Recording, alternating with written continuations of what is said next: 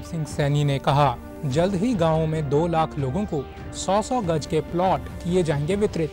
चौदह शहरों में करीब 170 करोड़ रुपए के विकास कार्यों का जल्द होगा शुभारंभ। परिवहन मंत्री अनिल विज ने कहा, रोडवेज़ बेड़े में जल्द शामिल होंगी 500 ऑर्डनरी और 150 एसी बसें। सभी बस चालकों व परिचालकों के स्वास्थ्य की विशेष शिविर लगाकर होगी जाँच।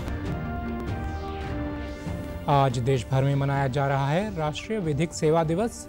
प्रदेश भर में लोक अदालतों का आयोजन कर लोगों की समस्याओं का त्वरित किया गया निपटान।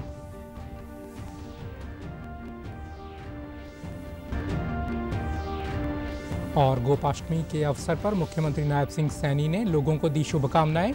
श्रद्धालुओं ने गायों की पूजा की। कैबिनेट मंत्री विपुल गोयल ने करनाल में गौ चिकित्सा केंद्र का किया उद्घाटन।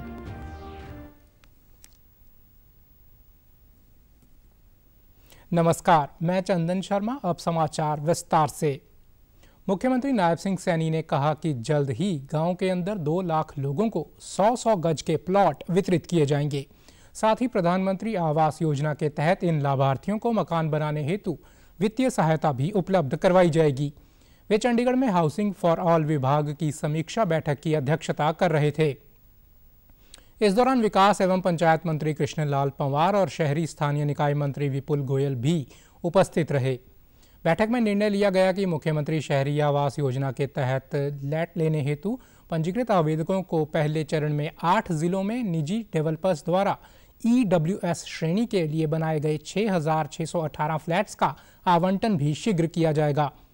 मुख्यमंत्री ने कहा कि मुख्यमंत्री शहरी आवास योजना के अंतर्गत 14 शहरों में जिन लाभार्थियों को प्लॉट आवंटित किए गए थे, उन्हें प्रधानमंत्री आवास योजना से जोड़कर मकान बनाने हेतु ढाई लाख रुपए की वित्तीय सहायता भी उपलब्ध करवाई जाएगी।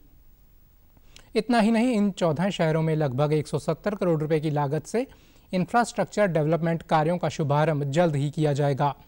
हरियाणा शहरी विकास प्राधिकरण द्वारा इस कार्य के लिए अनुमान तैयार किए जा चुके हैं। बैठक में जानकारी दी गई कि जगाधरी के सेक्टर 23 में मुख्यमंत्री शहरी आवास योजना के 2000 लाभार्थियों को मकान निर्माण शुरू कराने हेतु प्लॉट का कब्जा दिया जाएगा। हरियाणा शहरी विकास प्राधिकरण द्वारा यहाँ सभी भौतिक सुविधाएँ उपलब्ध करवा दी गई हैं।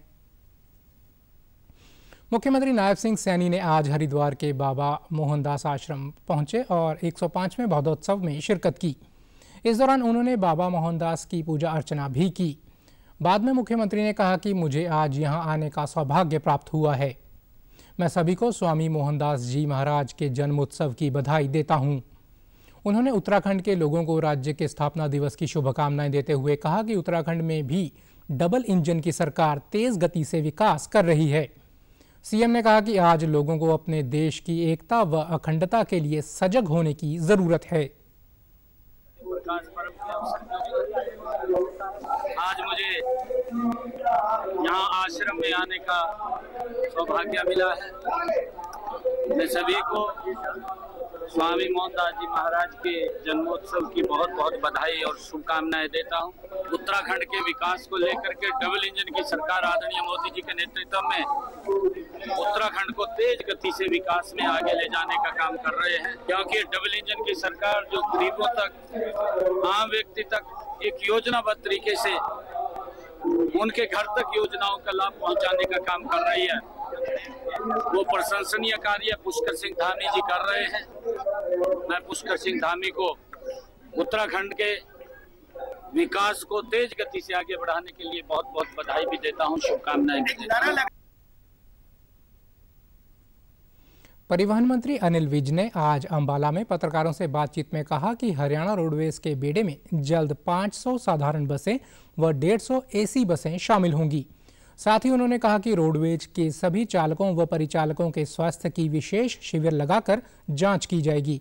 इस संबंध में अधिकारियों को निर्देश दे दिए गए हैं। मैंने कहा है कि इनके स्वास्थ्य के लिए सभी वो वर्कआउट करेंगे, कि कहाँ लगाने हैं तो सारों की रेगुलर जाँच होनी चाहिए। हाँ पाँच सौ ऑर्डिनरी और डेढ़ सौ एयर कंडीशन बसें और इसमें जोड़ रहे हैं अपने बसों के उन्होंने कांग्रेस पर निशाना साधते हुए झारखंड व महाराष्ट्र के चुनाव को लेकर कहा कि हरियाणा की तरह वहाँ भी भाजपा की सरकार बनेगी। भाजपा एक संगठनात्मक पार्टी है, जबकि कांग्रेस में बिखराव है। वो लोग जानते हैं कि हम ये कर नहीं सकते। धारा 370 को कोई भी प्रदेश असेंबली रद्द नहीं कर सकती।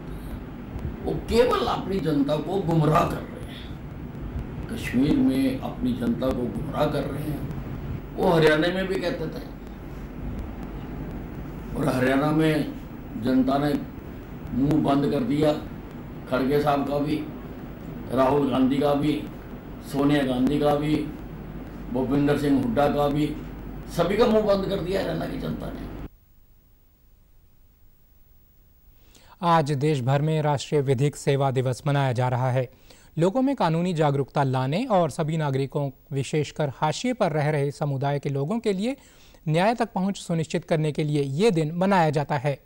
एक समान समाज के निर्माण के लिए कई परियोजनाओं और गतिविधियों के माध्यम से विवादों के समाधान के लिए तंत्र को बढ़ावा देने तथा लोगों को उनके कानूनी अधिकारों के बारे में शिक्षित करने के लिए यह दिन मनाया जाता है। वंचित और हाशिए पर रह रहे लोगों को कानूनी सहायता प्रदान करने के उद्देश्य से 8 नवंबर उन्नीस को विधिक सेवा प्राधिकार अधिनियम बनाया गया था। इस ऐतिहासिक कानून के परिणाम स्वरूप उसी वर्ष 5 दिसंबर को राष्ट्रीय विधिक सेवा प्राधिकरण की स्थापना की गई। तब से राष्ट्रीय विधिक सेवा दिवस हर वर्ष मनाया जाता है। पंचकूला के न्यायालय परिसर में आज विशेष लोक अदालत का आयोजन किया गया, जिसके लिए दो बेंचों का गठन किया गया। पहली बेंच की अध्यक्षता अतिरिक्त जिला न्यायाधीश पी के लाल ने, जबकि दूसरी बेंच की अध्यक्षता न्यायिक मजिस्ट्रेट ज्योति संधू ने की। इसके अलावा S D J M Upendra Singh की अध्यक्षता में कालका में सब डिवीज़न कोर्ट में तीसरी बेंच का गठन किया गया। मुख्य न्यायिक मजिस्ट्रेट अजय कुमार घनघस ने बताया कि राष्ट्रीय विधिक सेवा दिवस के अवसर पर 50 पुराने मामलों के लिए एक विशेष लोक अदालत के आयोजन किया गया है। ये विशेष लोक अदालत कार्यक्रम हरियाणा राज्य विधिक सेवा प्राधिकरण के निर्देशानुसार आयोजित किया गया। इसका उद्देश्य सुलभ और कुशल न्याय के प्रति प्रतिबद्धता को मज़बूत करते हुए लंबित मामलों के समाधान में तेज़ी लाना था। ये विशेष लोक अदालत पुराने मामलों की पेंडेंसी को कम करने और समय पर न्याय देने के प्रयासों का हिस्सा थी। उन्होंने बताया कि कुल 50 मामले लिए गए और 10 मामलों का निपटारा किया गया। और इसके तहत जो 50 ओल्डेस्ट केसेस हैं हर ज़िले के, उन केसेस में कोशिश की जा रही है कि हम उन केसेस को समझौते के माध्यम से उनको डिसाइड करें, उनको डिस्पोज ऑफ़ करें। सो so दैट जो लोगों को जो 50 ओल्डेस्ट केसेस में जितनी भी पार्टीज़ हैं, जितने भी लिटिगेंट हैं, उनको त्वरित न्याय मिले। दस साल पुराने भी हैं, पंद्रह साल भी पुराने भी हैं। 50 ओल्डेस्ट केसेस का मतलब है 50 सबसे पुराने मुकदमे जो पंचकुला की अदालतों में पेंडिंग है। और जिनमें समझौता हो सकता है। विशेष लोक अदालत के लाभार्थी बलजिंदर सिंह ने बताया कि लोक अदालत में पैसों की बचत होती है और मामले का निपटान अच्छे से दोनों पार्टियों के मध्यस्थ होता है। मामला समाप्त होने पर आज लगभग 12 साल बाद सुकून मिला है। वहीं एडवोकेट मनोज ने कहा कि जिला विधिक सेवा प्राधिकरण द्वारा ये कार्य समाज के हित को सर्वोपरि मानकर किया जा रहा है। लोक अदालत में लंबित मामले समाप्त होते हैं। फैसले किए हैं, वो एक तो खर्चे से बच जाता है आदमी। और ये हमारा बहुत पुराना केस चल रहा था दस बारह साल से। इसमें हमारा शॉर्ट आउट हो गया है। शॉर्ट आउट होने से जो सुकून हमें मिला है, वो मतलब ये समझो कि हमें बहुत ही अच्छा सुकून मिला है ताकि हम अच्छी ज़िंदगी जी सकें। ताकि तो हम भी, हम सबको भी यही अपील करेंगे कि लोक अदालत में आके अपने फैसले कराओ। एक तो आदमी को फाइनेंशियली बहुत हेल्प होती है। जितने ज़्यादा पुराने मतलब मैटर हैं केस लंबित वाद हैं उनको यहाँ मतलब मीडिएशन में लेके आके दोनों पार्टियों को बैठ के एमिकेबली सेटलमेंट कराई जाती है।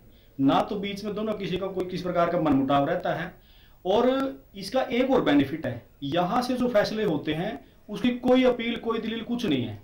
और दोनों का बीच में मनमुटाव दूर हो जाता है। तो डीएलएस से जो हमारे पंचकूले में है, अपने जज साहब हैं या और भी जो मेंबर्स हैं, बहुत ही बढ़िया काम कर रहे हैं।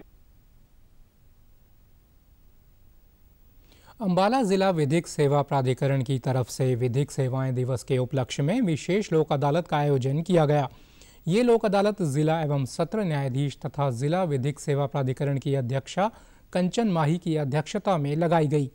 इस विशेष लोक अदालत में 50 अतिरिक्त पुराने लंबित केस रखे गए। जिला विधिक सेवा प्राधिकरण के सचिव एवं सीजेएम प्रवीण ने विशेष लोक अदालत को लेकर सिविल जज जूनियर डिवीज़न शिवदेव शर्मा का स्पेशल बेंच बनाया गया था। इस बेंच के पास 50 अतिरिक्त पुराने लंबित केस रखे गए। उधर यमुनानगर व जगाधरी में जिला एवं सत्र न्यायाधीश आर सी डिमरी की देखरेख में विशेष लोक अदालत का आयोजन किया गया। सिविल जज वसुंधरा राव व सिविल जज सिद्धांत ने सब डिवीज़न बिलासपुर में मामलों का निपटान किया। सीजीएम कीर्ति वशिष्ठ ने बताया कि लोक अदालतें शीघ्र सरल व संतोषजनक न्याय का सबसे बेहतर माध्यम हैं। और इससे न केवल केसों में शामिल दोनों पक्षों का समय, बल्कि धन की बचत भी होती है। गोपाष्टमी का पर्व आज प्रदेश भर में धूमधाम से मनाया गया। इस अवसर पर बड़ी संख्या में श्रद्धालुओं द्वारा गायों की पूजा अर्चना कर उन्हें चारा खिलाया गया। मुख्यमंत्री नायब सिंह सैनी ने इस अवसर पर अपने संदेश में कहा कि सनातन संस्कृति की संवाहिका समस्त देवी देवताओं को धारण करने वाली पूज्य गौ माता के पावन, आराधना एवं पर्व गोपाष्टमी की आप सबको हार्दिक शुभकामनाएँ। वहीं कैथल की गौशाला में श्रद्धालुओं ने हवन यज्ञ करके गाय माता की पूजा की।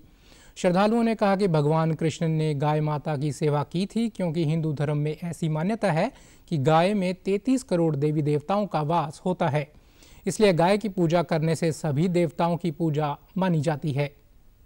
गौ माता की सेवा परमात्मा की सेवा के समान है। गाय के दूध में बहुत सारे प्रोटीन पाए जाते हैं जो व्यक्ति को अनेक बीमारियों से लड़ने में मददगार साबित होते हैं। इन गौओं को बहुत पुण्य माना जाता है इसलिए गौ पूजा करते हैं। गौ माता में तैतीस करोड़ देवी देवताओं का वास होता है। अगर कुछ भी ना करो गौ माता की पूजा करो उसी से सारे पुण्य का फल मिल जाता है सभी देवी देवताओं का। पीठ के ऊपर हाथ फेरने से कहते हैं हमारा अगर बीपी वगैरह ज़्यादा होता है ब्लड प्रेशर वो भी कम हो। जाता है। तो इसलिए गौ माता की हमें पूजा करनी चाहिए। कहते यही उदार करती है, यही हमें आगे पार लेके जाती है। श्री कृष्ण जी के अपना द्वापर के समय से है, जब भगवान इंद्र देव ने लगातार गोवर गोकुल वासियों के ऊपर अपनी बारिश का कहर उठाया तो वो बारिश का सात दिन तक चली और आठवें दिन भगवान श्री कृष्ण जी ने गोवर्धन पर्वत अपनी उंगली पर उठाया और गोकुल वासियों की रक्षा की थी। तो उसके उपलक्ष्य में आज गाय और बछड़े की पूजा की जाती है और उसी उसी समय से गोपाष्टमी का पर्व बड़ी धूमधाम के साथ हर गौशाला में, हर शहर में, हर गाँव में मनाया जाता है। उधर प्रदेश के राजस्व एवं स्थानीय निकाय मंत्री विपुल गोयल ने करनाल स्थित श्री कृष्ण गौशाला पहुँचे और गायों की पूजा कर उन्हें चारा खिलाया। इस मौके पर उन्होंने गौशाला में गौ चिकित्सा केंद्र का भी उद्घाटन किया। पत्रकारों से बातचीत में उन्होंने कहा कि गोपाष्टमी का पर्व सनातन धर्म में बहुत महत्व है। ये पर्व हमें बताता है कि हमें किस प्रकार गायों की सेवा करनी चाहिए और हमारे जीवन में गायों का क्या महत्व है। उन्होंने कहा कि प्रदेश को बेसहारा गौवंश से मुक्त करने के लिए अभियान चलाया जा रहा है। पिछले पंद्रह दिनों से प्रदेश में बेसहारा नंदी और गायों को गौशालाओं में भिजवाने का कार्य चल रहा है। जो लोग गायों का दूध निकालकर रोड पर छोड़ देते हैं, उन पर सख्त कार्रवाई की जाएगी।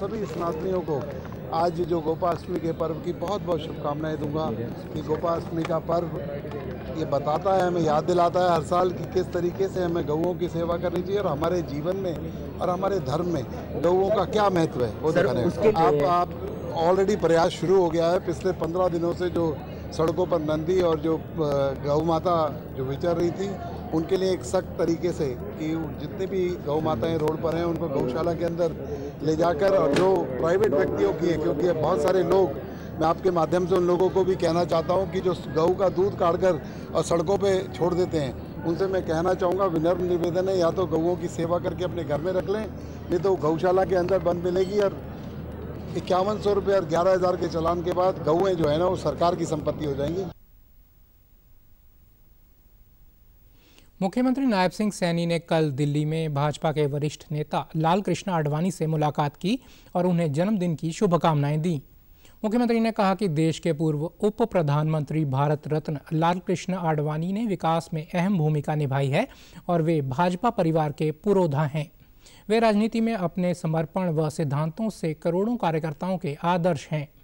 ईश्वर से प्रार्थना है कि वे दीर्घायु हों, स्वस्थ रहें और सदैव हमारा मार्गदर्शन करते रहें।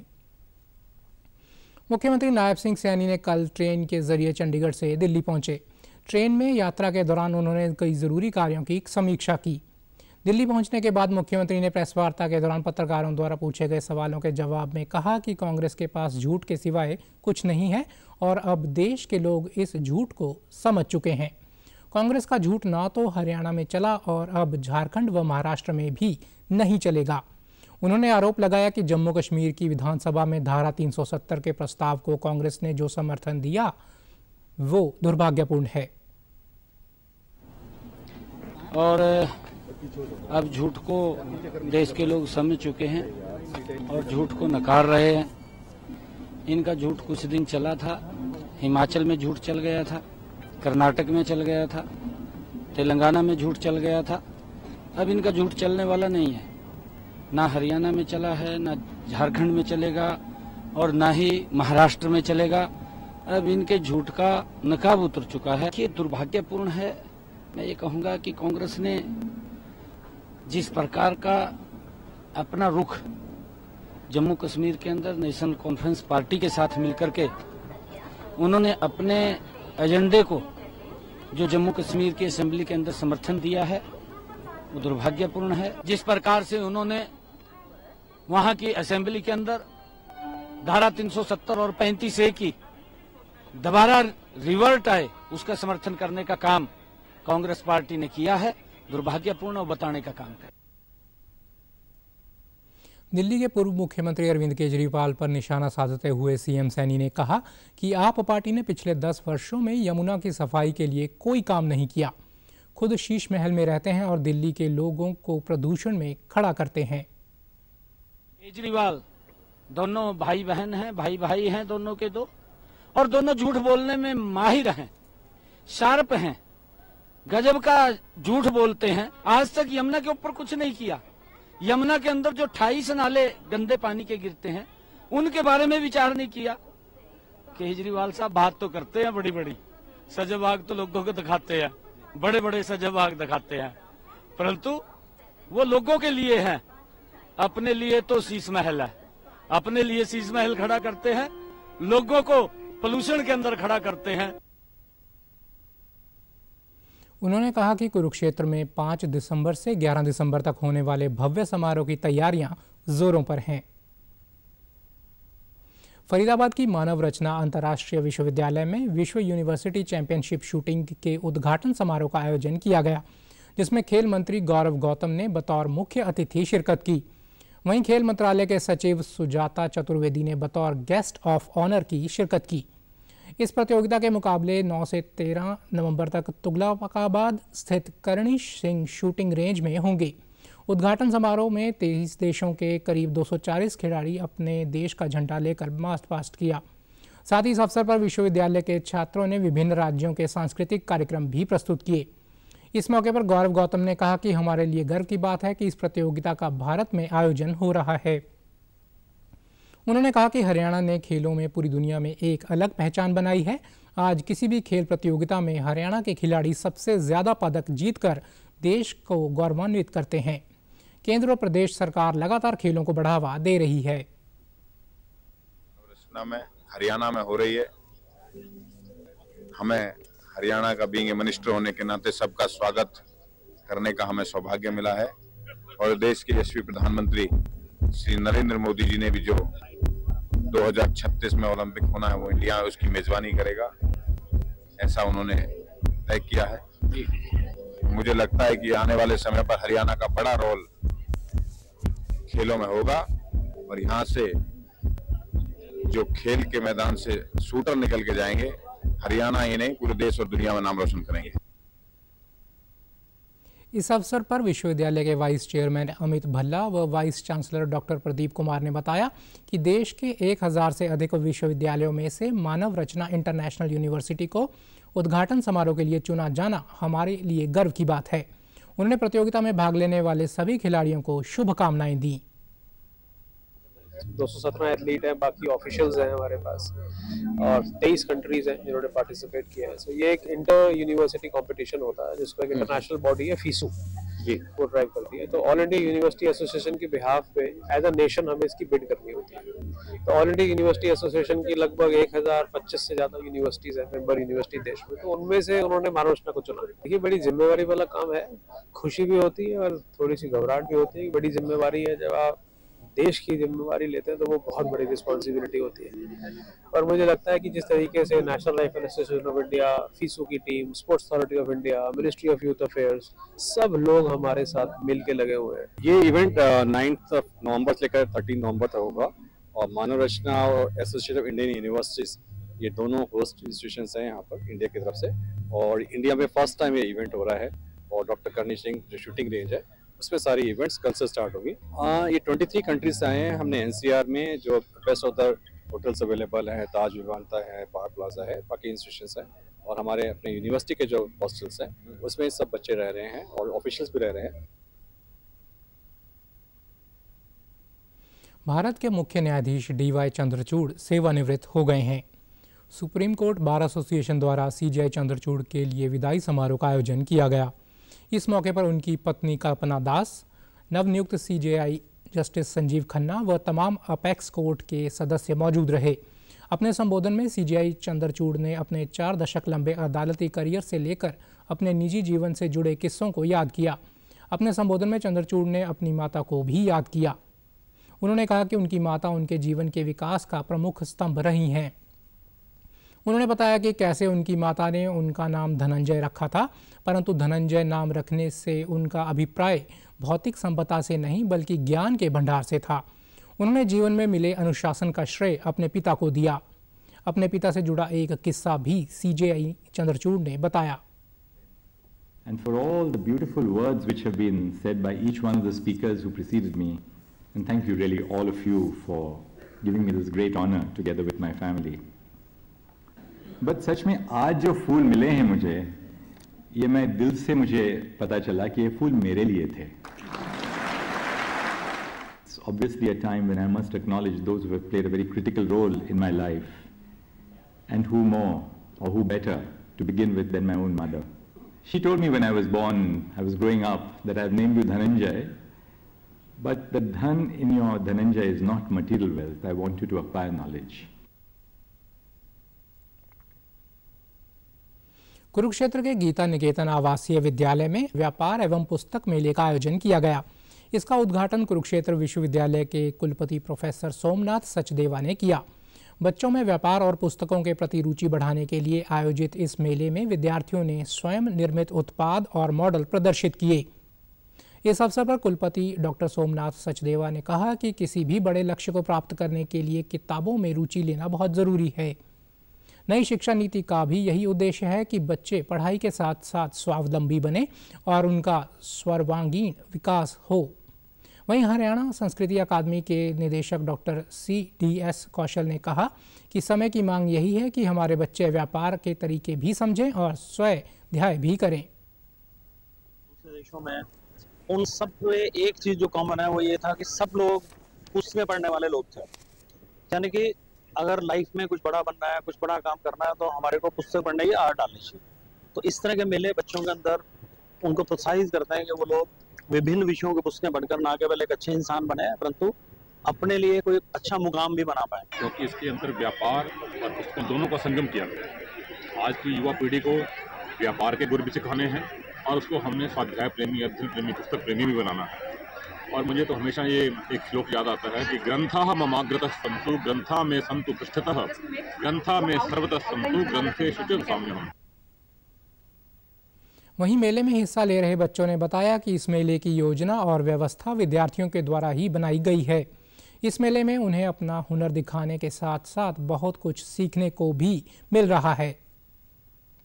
मेले के समय पर हमने अपना सामान खुद व्यापारियों से जाकर लिया। उससे हमें सीखने को मिला कि हम कैसे लोगों से बातचीत कर सकते हैं और कैसे अपना सामान कम से कम दामों में ले सकते हैं। उसी तरह हमने अपने बैनर वगैरह सब खुद प्रिंट कराए। इससे हमें असल में ज्ञान मिला कि एक्चुअल में ये सब करना कितना मुश्किल हो सकता है। कॉमर्स के इलेवन ट्वेल्थ के बच्चे अपनी रियल लाइफ बिज़नेस स्किल सीख सकते हैं और उन्हें उनका इम्प्लीमेंटेशन और कैसे हमें एक्चुअल में बिज़नेस चलाना है। मुझे ये मेला काफ़ी अच्छा लगा। यहाँ पे काफ़ी अच्छी अच्छी चीज़ें हैं। यहाँ का पुस्तक मेले में भी काफ़ी ज्ञानवर्धक चीज़ें हैं मतलब बुक्स हैं और काफ़ी अच्छी यमुनानगर में महर्षि वेद व्यास की कर्मस्थली बिलासपुर में तीर्थराज कपाल मोचन में 11 से 15 नवंबर तक प्रसिद्ध धार्मिक व ऐतिहासिक अंतर्राज्यीय कपाल मोचन श्री आदि बद्री मेले का आयोजन किया जाएगा। जिसमें 8 से 10 लाख श्रद्धालुओं के आने की संभावना है। इस मेले के संबंध में सभी विभागों के अधिकारियों के साथ उपायुक्त एवं श्री केदारनाथ मंदिर धार्मिक व पूजा स्थल बोर्ड, यमुनानगर के मुख्य प्रशासक कैप्टन मनोज कुमार ने आवश्यक दिशा निर्देश दिए। उन्होंने कपाल मोचन सरोवर पर जाकर मेले की तैयारियों का जायजा लेते हुए कहा कि सभी अधिकारी मेले के संबंध में सभी प्रबंध 10 नवंबर तक पूर्ण करें और पूरी श्रद्धा से अपनी ड्यूटी को निभाएँ। कपाल मोचन मेले में आने वाले श्रद्धालुओं को अधिक से अधिक सुविधाएँ देने का प्रयास किया जाए और सफ़ाई व्यवस्था, दवाइयाँ, पीने का पानी, बिजली इत्यादि का प्रबंध भी सुचारू रूप से किया जाए। स्नान करती महिलाओं के घाट हैं। वहाँ कुछ पर्दादारी अच्छी नहीं थी और ताक झाँक रहती थी तो वहाँ परमानेंट स्ट्रक्चर्स बना दिए गए हैं, जो ताक झाँक का कोई स्कोप ही ना बचे। और सुरक्षा व्यवस्था के दृष्टिगत सभी जो पहले इंतज़ाम थे, उसके अलावा फालतू इस बार किए जा रहे हैं कि फोर्स भी हमने फालतू मंगवाई है जो बाहर से आएगी। तो आप ये मान के चलिए कि पिछली मरतबा के मुकाबले 600-700 लोग इस बार फालतू रहेंगे, जो हमारी ओवरहेड मचान टाइप ऑब्जर्वेशन पोस्ट भी रहेंगी, नीचे नाके भी रहेंगे पुलिस पोस्ट भी रहेंगी, बीट पे गश्त भी रहेंगी, और 11 से लेके 15 तक, समापन तक डिप्लॉयमेंट 100 परसेंट कायम रहेगा, जो का त्यों। एक आप जैसे साथियों की बदौलत मुझे पिछली दफ़ा ये पता चला था कि कोई बोट वोट में छोटी मोटी लीकेज शायद कहीं थी। तो इस बार हमने ये भी सुनिश्चित किया कि ऐसा ना हो और नई बोट्स भी आ गई हैं, रबर बोट्स हैं। वहीं पुलिस अधीक्षक राजीव देसवाल ने बताया कि मेले में सुरक्षा व्यवस्था के लिए 2000 से अधिक पुलिस कर्मियों की ड्यूटी लगाई गई है। व पुलिस प्रशासन ने सभी तैयारियाँ पूरी कर ली हैं। उसके अलावा हमारे जो नाके हैं सेक्टर वाइज पुलिस डिस्ट्रीब्यूट की गई है पेट्रोलिंग है बीच में, वो पैदल पेट्रोलिंग है, कई जगह ऐसी हैं कि जहाँ जहाँ हमें ट्रैफ़िक को रोक देना है, वहाँ से क्रॉस नहीं होगा ट्रैफ़िक अरेंजमेंट्स भी, और इसी तरीके के लैंड ऑर्डर भी जो अरेंजमेंट्स हैं, वो भी, और इसी को देखते हुए कि पिछली बार एहसास हुआ कि फोर्स कम है, उसको बढ़ा दिया गया, और फोर्स जो है जितनी यहाँ लगेगी, उसके अलावा भी हम इंतज़ाम रखेंगे। प्रदेश के स्वास्थ्य एवं परिवार कल्याण विभाग के अतिरिक्त मुख्य सचिव सुधीर राज्यपाल ने अम्बाला के नारायणगढ़ स्थित नागरिक अस्पताल का निरीक्षण किया। उन्होंने निर्देश दिए कि महानिदेशालय से प्राप्त दवाइयों की उपलब्धता सुनिश्चित करें और जो दवाइयाँ प्राप्त नहीं हो रही, उनको अपने स्तर पर खरीद कर आपूर्ति करें। अतिरिक्त मुख्य सचिव ने आयुष्मान योजना के नोडल अधिकारी को कार्य में कोताही बरतने के कारण तुरंत प्रभाव से निलंबित किया है। उन्होंने कहा कि मरीज़ का कोई भी बाहर की दवाई ना लिखी जाए। उन्होंने ऑनलाइन सॉफ्टवेयर को सुधारने के निर्देश भी दिए ताकि मरीज़ को जल्द इलाज की सुविधा मिल सके। उन्होंने नागरिक अस्पताल में गायनो विभाग के निरीक्षण के दौरान डिलीवरी ऑपरेशन वाली मशीन खराब पाए जाने पर सिविल सर्जन ने शीघ्र मशीन उपलब्ध करवाने के आदेश दिए। उन्होंने पीडब्ल्यूडी से कहा कि नागरिक अस्पताल की मौजूदा बिल्डिंग की रिपेयर व आधुनिक शौचालय बनाने का एस्टीमेट शीघ्र बनाकर मुख्यालय को भेजा जाए। राष्ट्रपति द्रौपदी मुर्मू ने कल दिल्ली के विज्ञान भवन में केंद्रीय सतर्कता आयोग यानी सीबीसी द्वारा आयोजित सतर्कता जागरूकता सप्ताह समारोह को संबोधित करते हुए राष्ट्रपति ने भ्रष्टाचार पर लगाम लगाने के प्रयासों पर केंद्र सरकार की सराहना की है। उन्होंने कहा कि सरकार ने भ्रष्टाचार पर लगाम लगाने के लिए कई सारे प्रयास किए हैं, जिसमें हर सेक्टर में पारदर्शिता के लिए ई मार्केटिंग की शुरुआत हुई है। भ्रष्टाचार निवारण अधिनियम में भी संशोधन किया है। इसके साथ सरकार ने मनी लॉन्ड्रिंग मामलों पर सख्ती करके करोड़ों रुपए जब्त भी किए हैं। भ्रष्टाचार से निपटने के लिए कई उपाय किए हैं, जैसे डायरेक्ट बेनिफिट ट्रांसफ़र से कल्याणकारी सहायता के वितरण में पारदर्शिता आई है। सार्वजनिक खरीद में ई टेंडरिंग का कार्यान्वयन किया गया है। गवर्नमेंट ई मार्केट प्लेस की शुरुआत किए हैं। एक प्रोबिटी पोर्टल संचालित किया गया है। वर्ष 2018 में प्रिवेंशन ऑफ़ करप्शन एक्ट को संशोधित किया गया है। इकोनॉमिक ऑफेंडर्स एक्ट लागू किया है। पिछले इस दस वर्षों में Prevention of Money Laundering Act के तहत सरकार ने 12 बिलियन डॉलर से अधिक की संपत्तियाँ जब्त की है। राष्ट्रपति ने सरकार द्वारा भ्रष्टाचार पर ज़ीरो टॉलरेंस की नीति अपनाने पर भी खुशी जताई है। उन्होंने कहा कि देश में भ्रष्टाचार पर लगाम लगाना भी स्वच्छता अभियान का ही हिस्सा है। ज़ीरो टॉलर इस समारोह के दौरान केंद्रीय सतर्कता आयोग द्वारा तैयार तीन पत्रिकाओं का भी लोकार्पण किया गया। तीन पत्रिकाओं की पहली प्रतियाँ केंद्रीय सतर्कता आयुक्त द्वारा राष्ट्रपति द्रौपदी मुर्मू को भेंट की गई। इन पत्रिकाओं के साथ साथ डाक विभाग द्वारा सतर्कता जागरूकता सप्ताह 2024 पर एक विशेष कवर भी जारी किया गया। गौरतलब है कि केंद्रीय सतर्कता आयोग हर साल सरदार वल्लभ भाई पटेल की जयंती वाले सप्ताह में सतर्कता जागरूकता सप्ताह मनाता है। इस साल इसकी थीम सत्यनिष्ठा की संस्कृति से राष्ट्र की समृद्धि रखी गई है। समाचारों में आज इतना ही। नमस्कार।